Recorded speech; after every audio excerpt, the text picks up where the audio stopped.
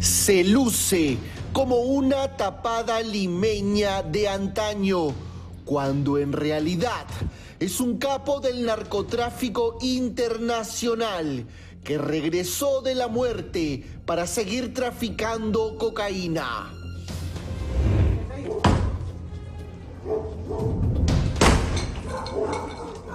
Minutos antes de su inminente captura, el capo Edwin Lenin Cueva León, alias Lázaro, pretendió fugar por el techo de la casa.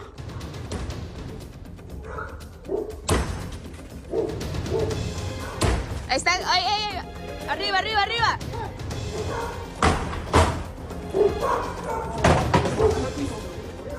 Tras reventar la puerta a combazos, los agentes de la Dirandro ingresaron a la casa para capturar a alias Lázaro.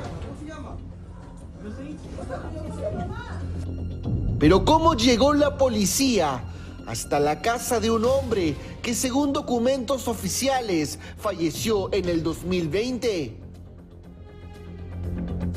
El pasado 7 de septiembre, el muerto en vida se dejaba ver a inmediaciones de una conocida cevichería de la Victoria.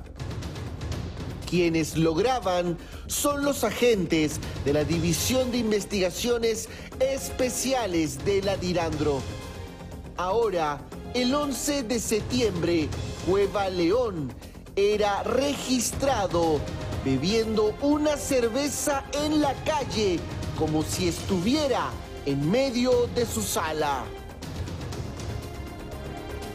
Él eh, había utilizado esta, estrategia ¿no? para sustraerse de, la persecución penal, eh, porque luego eh, retornó pues, a la vida, ¿no? consiguió incluso su inscripción nuevamente en el registro de RENIEC y llegar a obtener un pasaporte. Pasaporte que lo ponía prácticamente eh, en línea de poder viajar a cualquier parte del mundo porque él ya no registraba en requisitorias vigentes, ni mucho menos, porque supuestamente ya eh, había, se había archivado todos los procesos penales por muerte, por la supuesta muerte de él, ¿no? Pero, ¿quién es Edwin Lenin Cueva León? En el 2016 fue vinculado a José Bolaños, un narcotraficante de nacionalidad colombiana, y también se le vio con Carlos McDowell, este último asesinado en el 2021 en un aparente crimen por encargo.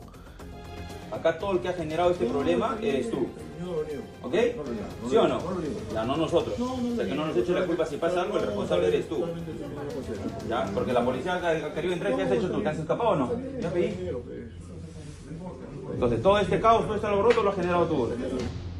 El 23 de agosto pasado recuperó su identidad, mientras que el primero de septiembre obtuvo finalmente un nuevo pasaporte. Hay un equipo mixto entre personal antidrogas y personal anticorrupción siguiendo una línea investigativa para dar con las personas que están inmersas en todo este entramado de haber, de haber simulado la muerte, de haber conseguido archivar el proceso penal. Cueva León ha sido vinculado al reo de Chayapalca, Caracol, mientras que su hermano Luis cayó el año pasado con decenas de kilos de droga decomisada en el balneario de Máncora. Este es el fin de alias Lázaro. En simultáneo, otros ocho puntos eran intervenidos. No, no trafica para, para el entorno local o trafica para, para microcomercializadores. Él trafica para organizaciones criminales del narcotráfico internacional. Eh, su- sus vinculaciones tenían que ver con Estados Unidos, con Canadá, eh, y también tenía una línea que estaba trabajando ya sobre Europa. Cueva León aún se encuentra detenido en las instalaciones de la Dirandro, negándolo todo hasta el momento y guardando absoluto silencio.